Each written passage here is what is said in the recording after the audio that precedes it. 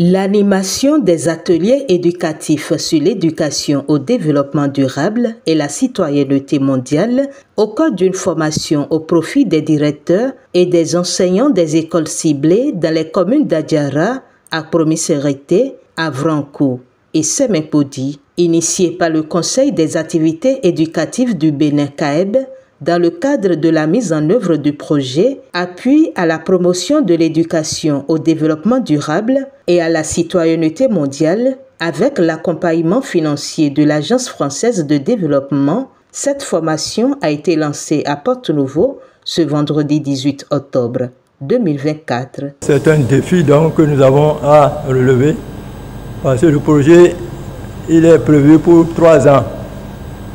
Mais si nous arrivons à atteindre les objectifs fixés, nous pouvons avoir plus.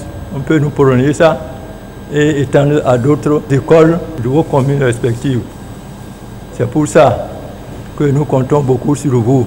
Évidemment, je n'ai pas de doute parce que je sais que le directeur départemental et les collègues chefs de circonscription ont œuvré pour que ce soit vous qui venez ici vous qui donnez de bons résultats, vous qui avez de la conscience professionnelle. On compte beaucoup sur vous et je me dois de remercier le directeur départemental qui s'implique activement. Eh bien, mesdames et messieurs, je suis rassuré, vu votre mobilisation, que les deux jours de formation vont très bien se passer et qu'avec vous, le CAEB peut se réjouir d'avoir bâti une pépinière de citoyens vecteurs de la philosophie qui sous-tend la présente formation. Et je voudrais donc euh, remercier le partenaire financier qui a compris l'enjeu et a accepté d'accompagner cette initiative sur les trois ans. Vous mesurez sans doute votre responsabilité, car de votre mobilisation et de votre contribution, dépendra le renouvellement du dit projet. Et je ne doute pas un seul instant. Vu les critères qui ont milité en faveur des choix que nous avons faits, rassurez-vous, les maillons ont été suffisamment serrés. Je voudrais en votre nom remercier les responsables du CAEB et promettre qu'ils ne seront pas déçus. Les généralités sur les ODD, l'arrimage des enjeux planétaires et les situations d'apprentissage étudiées au CE2 et au CM1 ainsi que la présentation des fiches d'animation des ateliers éducatifs élaborés par le CAEB sont entre autres communications et travaux ayant marqué cette première journée. Euh, il était question euh, d'amener les enseignants rassemblés ici à comprendre davantage euh, sur les objectifs du développement durable, faire la différence entre l'agenda 2030, le développement durable et acquérir des notions sur l'éducation à la citoyenneté mondiale. Donc, euh, en termes de généralité sur les ODD, euh, nous leur avons montré euh, comment les ODD ont été définis, le processus qui a conduit à l'élaboration de cet agenda mondial. ensuite, comment est-ce que le progrès est mesuré au plan mondial et au niveau local. Et enfin, le lien entre le développement durable et la citoyenneté mondiale. Donc, euh, ils ont compris que sans euh, une éducation euh, à la citoyenneté mondiale, c'est-à-dire des citoyens bien formés qui incarnent des valeurs, nous ne pourrons pas atteindre cet objectif à l'échéance 2030. Vous savez, aujourd'hui, l'éducation à la citoyenneté, à la solidarité internationale fait partie des priorités déjà au niveau international et au niveau national. Une priorité sur laquelle nous avons anticipé au CAEB une organisation d'éducation qui a très tôt compris que pour lutter contre plusieurs maux qui minent aujourd'hui nos sociétés, les maux notamment liés à l'incivisme, au terrorisme et à bien d'autres choses, il faut procéder à une éducation spécifique de toutes les couches de la société, notamment les jeunes, qui sont pour la plupart du temps instrumentalisés, et les enfants, les enfants qui constituent les citoyens de demain.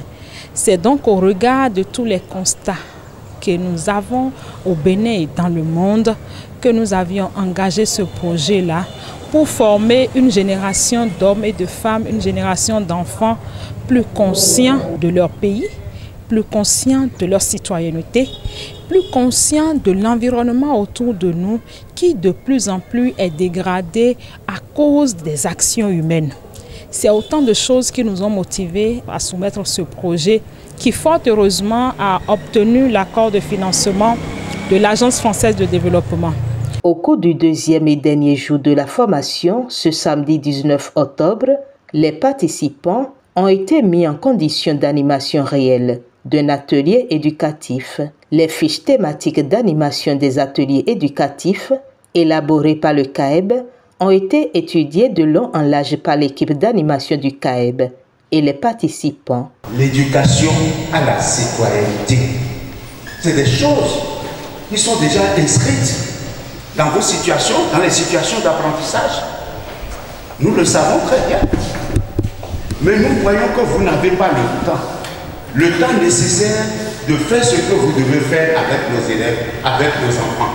Et ce que nous voulons faire aujourd'hui, le cas de faire, sous le financement de l'Agence française de développement, c'est d'apporter notre pierre à la construction de cet édifice.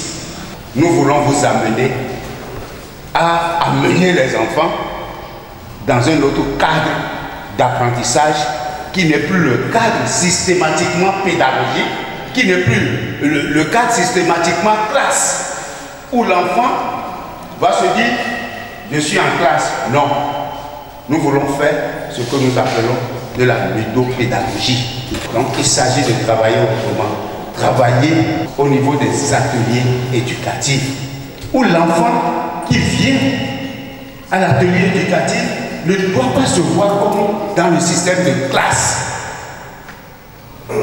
Parce que si vous agissez comme ça, la base est faussée.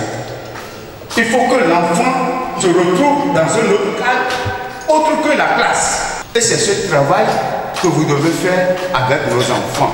Nous avons fait des simulations par rapport aux fiches que nous avons déjà élaborées. Les enfants n'auront plus à aller des fiches, il y a des fiches d'animation. Donc euh, ils vont s'approprier ces fiches-là et les animer les mercredis soirs, euh, une fois par quinzaine. Et, nous savons que avec tous les outils, tous les qu'on a, les matériaux qu'on a mis en place, l'enfant ne va pas seulement euh, écouter, mais il va beaucoup jouer. Eh, aujourd'hui, on parle de la ludopédagogie. On fait de la pédagogie ludique. L'enfant joue et il apprend beaucoup de choses. Donc il est jeu, il ne faut pas qu'on le sépare du jeu, mais avec le jeu, on va l'amener à comprendre beaucoup de choses et à pouvoir développer des compétences qui puissent lui permettre de vivre en harmonie avec euh, sa communauté. Nous avons fait des simulations et après nous avons euh, voulu que les enseignants se fassent d'abord un peu la main ici avant d'aller dans leur école. Eux aussi, ils ont, ils ont planché. Ils ont animé, vous avez vu tout à l'heure. Et après, nous avons fait une synthèse. Des préoccupations ont été posées. En fait, nous avions tout fait pour que la compréhension de ces fiches soit partagée et que chaque enseignant soit plus que jamais motivé pour véritablement y aller et vraiment sur ce pan-là afin que l'animation des ateliers éducatifs puisse véritablement nous l'avions fait, ils ont compris. Et avec tout le matériel que nous mettons à disposition des écoles pour l'animation de ces espaces-là, c'est autant d'éléments de motivation. Et là, vous avez vu la dernière question, c'est quand est-ce qu'on commence? Quand est-ce qu'on commence? Et nous, nous les avons rassurés pour dire tout à l'heure, nous allons commencer. Très bientôt, nous allons commencer. Heureux d'avoir pris part à la formation, les participants remercient les organisateurs tout en exprimant leur satisfaction. Nos premières impressions d'abord, c'est que nous étions tellement contents pour ces formations qui sont venues encore nous apporter un de plus. Nous nous sommes imprégnés des ODD, c'est-à-dire des objectifs de développement durable, le rôle de l'enseignant face à ces, ODD afin que les enfants puissent s'en imprégner également. Cette deuxième journée nous a permis d'être en phase avec euh, les activités de simulation c'est-à-dire comment l'enseignant va s'y prendre en classe avec les apprenants afin que les enfants vont s'imprégner davantage de ces ODD. Et ces activités de simulation nous apportent un de plus parce que en tant qu'enseignants, nous avons un rôle à jouer et on nous a dit que les mercredis soirs de 15h à 17h, nous avons des activités à mener avec des apprenants. Et si nous sommes déjà imprégnés, si nous connaissons déjà le rôle que nous allons jouer, nous allons mieux nous préparer pour affronter ces activités.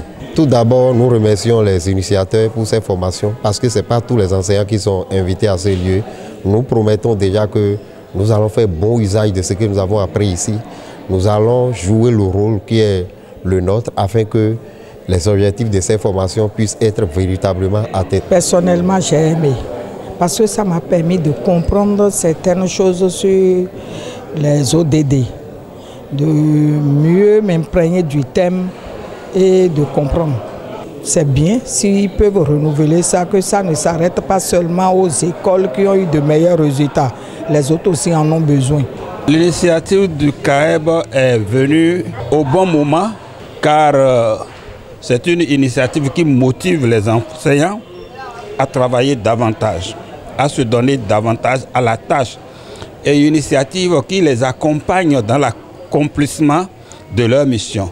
Aujourd'hui, nous avons abordé les simulations, comment animer les ateliers éducatifs. Donc nous avons retenu des techniques d'animation qui sollicitent énormément la participation des apprenants leur engouement, n'est-ce pas, à se donner et à résoudre les problèmes de l'environnement qui se posent dans nos milieux respectifs. Les initiateurs, Dieu les bénit, parce que celui qui œuvre dans le cadre de l'éducation et de l'éducation à l'environnement, au développement, celui-là, il doit être apprécié à juste titre. Donc le CAEB reçoit nos félicitations et notre admiration pour ce qu'ils ont entrepris avec nous. Moment de témoignage de reconnaissance du CAEB qui annonce la prochaine étape après la formation. Euh, je voudrais vous remercier, vous remercier pour euh, le temps que vous avez bien voulu accorder. Les gens sont restés de bout en bout, les CCS, les CPE, les directeurs et autres, malgré vos diverses occupations. Et nous, on se dit qu'on sera avec vous dans les prochains jours. Vous allez voir, on va véritablement faire vos écoles et venez en charge même si vous Vous avez découvert quand même que ça a besoin d'être en choc.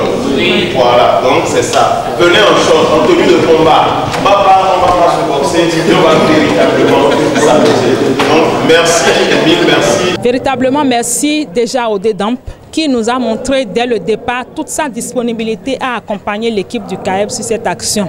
Nos remerciements également aux chefs de circonscription scolaire qui, à l'instar de leur autorité de tutelle, nous ont montré qu'ils sont pour l'action que nous menons et n'ont ménagé aucun effort pour mobiliser les gens, mobiliser la troupe à la base pour que et les enseignants et les directeurs d'école soient véritablement là. Et nous leur disons infiniment merci. Nous n'allons pas occulter notre partenaire, celui-là qui a rendu possible toute la mise en œuvre de ce projet et cette action de renforcement de capacité, l'Agence française de développement pour son accompagnement et son appui financier. Oui, la suite, c'est l'animation réelle des espaces, des ateliers éducatifs qui, si tout va bien, sera pour déjà ce mois d'octobre, puisque les activités pédagogiques ont repris dans les écoles. Déjà pour ce mois d'octobre, si tout va bien, nous allons lancer les ateliers éducatifs dans toutes les écoles concernées et ce, dans les communes que nous avions ciblées pour ce projet. Rendez-vous donc très bientôt dans les écoles ciblées dans ces différentes communes pour le lancement des ateliers éducatifs.